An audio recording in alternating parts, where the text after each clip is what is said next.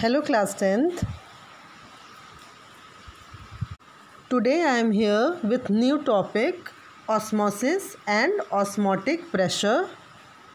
Osmosis is the movement of water molecules from their region of higher concentration to their region of lower concentration through a semi permeable membrane.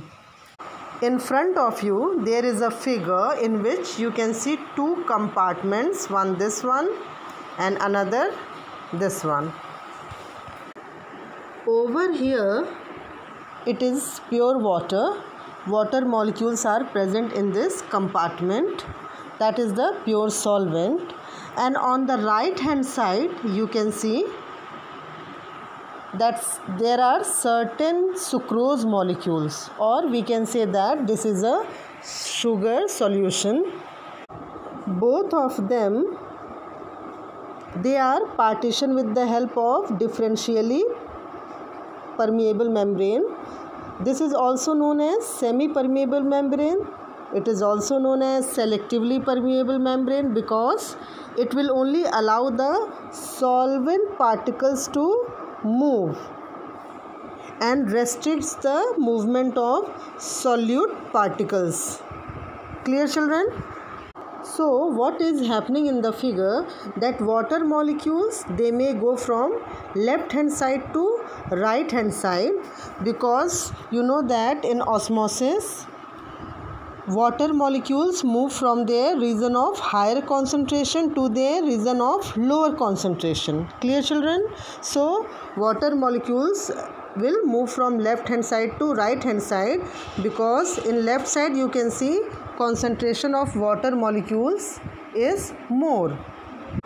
So water molecules will flow from the pure solvent side towards the sugar solution so this is only osmosis in which water molecules move from their region of higher concentration to their region of lower concentration through a semi-permeable membrane. As I told you that uh, semi-permeable membrane allows only the solvent and not the solute particles to pass through it and examples we can take uh, pig's bladder or parchment membrane, cellophane membrane, gelatinous precipitates of cupric ferrocyanide. All these are the examples of semi-permeable membrane. Now we will see what is endosmosis and exosmosis. With reference to a cell, the osmosis can be either inward or outward depending on the extent of concentration of the solutions surrounding it. So with the help of one experiment, we will try to understand this. In this experiment, we will take two glass tumblers, raisins, grapes, sugar, water. In both the tumblers or uh, beakers, we will take water is it clear? In both the beakers we will take water in this also and in this also. And then in one beaker we will add sugar and mix it thoroughly with water. After that we soak fresh grapes in sugar solution and we soak some raisins in plain water. Then we will leave these two beakers for a day or two after a day we can uh, see that grapes have become flaccid and raisins have become turgid. Before soaking in water you can see the structure of grape and raisin but after soaking in water grape becomes flaccid and raisin becomes turgid. Do you know why grape becomes flaccid because in grape exosmosis process takes place. Exo means outward. So exosmosis is the outward diffusion of water through a semi permeable membrane when the surrounding solution is more concentrate, concentrated. And this tends to cause shrinkage of the cell Is it clear class? In this condition, the solution outside the cell has a higher solute concentration than the fluids inside the cell. So, the water molecules from the interior of the cell, grape cell, will move outside and this is exosmosis. In raisins, endosmosis process will take place. Endo means inward so endosmosis is the inward diffusion of water through a semi-permeable membrane when the surrounding solution is less concentrated and this tends to swell up the cell. You can see here resin is swelled. So in this condition the solution outside the cell has a lower solute concentration than the fluids inside the cell as a result, the water molecules from the outside will move into the resin cell and this is endosmosis. Is it clear children? In this condition, water will move from inside to outside. So, grape will become flaccid and in this one, water molecule will move from outside to inside. So, resin will become turgid. Now with the help of another experiment we will try to understand uh, osmosis process. In this experiment we take one thistle funnel this is thistle funnel. Then one beaker will be there this is beaker. Inside beaker water is present water will be there inside the beaker. We take some concentrated sugar solution in a thistle funnel. This is sugar solution. And then we cover the mouth of a thistle funnel with cellophane paper or egg membrane or animal bladder and tie it. We invert the thistle funnel in a beaker containing water and suspend it as shown in figure now after that we mark the level of the sugar solution on the stem of the thistle funnel. You can see this is the stem of thistle funnel. So we mark the sugar solution on the stem. This is initial level. Clear children? So this is the experimental setup.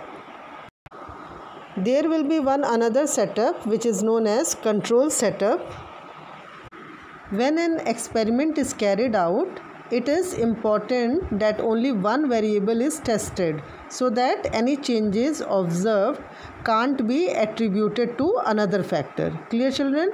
So a control setup controls for other factors.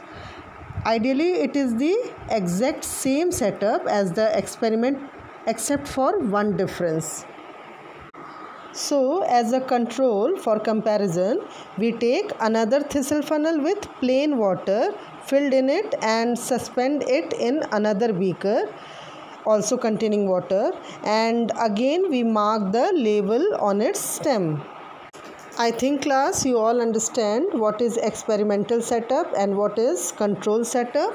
In front of you this is experimental setup in this inside the thistle funnel sugar solution is there. But uh, in control setup what we take inside the thistle funnel? We take plain water. And this is the one difference between experimental setup and control setup. After few hours what we see in the experimental setup? We see that the level of sugar solution this is the initial level so the level of the sugar solution will rise. You can see now level is still here. And in control setup there will be no change. The level of water in the thistle funnel in the control will remain unchanged. As you know that in both setups experimental setup as well as control setup in both setups. Water is there in the beaker. So the level of water in the beaker in the experiment will drop slightly. While this is water level so in experimental setup what we see that water level will drop slightly. Clear children? But in uh, control setup the level of water will remain unchanged okay. If the water in the beaker in the experimental setup is tasted it is not found sweet. So what conclusions we get from this experiment? We get three main conclusions from this experiment. First one this is experimental setup which is in front of you. So some water from the beaker. You know that in beaker water is there some water will pass through the cellophane paper. This is cellophane paper. So this water will pass through the cellophane paper to enter the thistle funnel which is having sugar solution. Second sugar from the thistle funnel has not passed into the beaker. It will not pass into the beaker and the third conclusion is the cellophane paper has acted as selectively permeable membrane clear this cellophane paper will act as selectively or differentially permeable membrane it has allowed water molecules to pass through but not the sugar molecules. Now we will see what is osmotic pressure. If in this experiment an airtight piston, this one airtight piston having some weight, you can see this piston is having weight. And if this piston will be introduced in the thistle funnel this is thistle funnel and this piston will be introduced from the very beginning as shown in the figure then the level of the solution will not rise. As in previous uh, experiment we saw that level was rising. But when we will introduce this piston in the thistle funnel then the level of the solution will not rise at all because this piston will exert pressure clear children?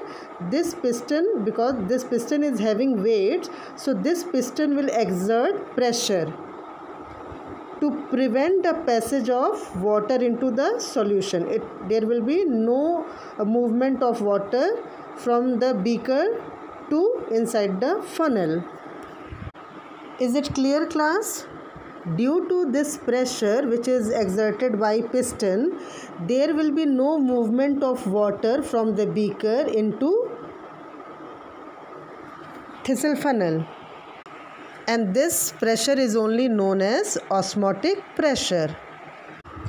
Osmotic pressure is the minimum pressure that must be exerted to prevent the passage of the pure solvent into the solution when the two are separated by a semi-permeable membrane. Or in another words, osmotic pressure of a solution is a measure of its tendency to take in water by osmosis.